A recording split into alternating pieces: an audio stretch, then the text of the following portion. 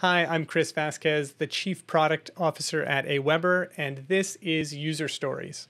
Today's user story is As a product manager, I want to make beneficial behaviors easier to do so I can help more folks do them and be successful. Every morning, I perform a beverage ritual where I go get a cup of coffee, dump a spoonful of sugar into it, and move on. I know I should drink less coffee, I know I should add less sugar to it, but it's hard for me to make a change here. Recently, Liz, my fiance, made a small change that had a big impact on how much sugar I take. She put a smaller spoon in the sugar bowl. When I get a cup of coffee, a lot of what I'm doing is just habit.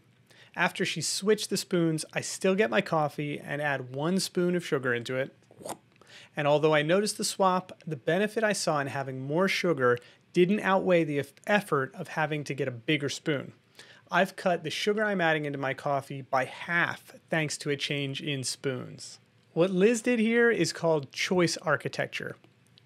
And this illustrates the potential that we have to impact people through small changes in the way we present options to them.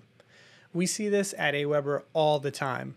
When we add something new to a prominent place on the dashboard, hey, more people interact with it just by focusing more attention on the feature. This is an example of the same principle that leads supermarkets to place sugary cereals at kids' eye level. When we're thinking about how to shape people's behavior to set them up for success, consider how hard it is to get to the feature they need to interact with.